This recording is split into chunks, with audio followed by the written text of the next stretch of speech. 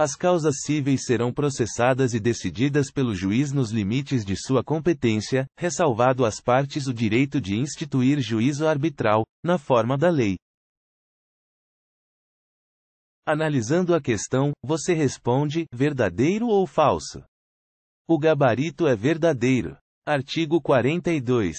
As causas cíveis serão processadas e decididas pelo juiz nos limites de sua competência, ressalvado às partes o direito de instituir juízo arbitral, na forma da lei.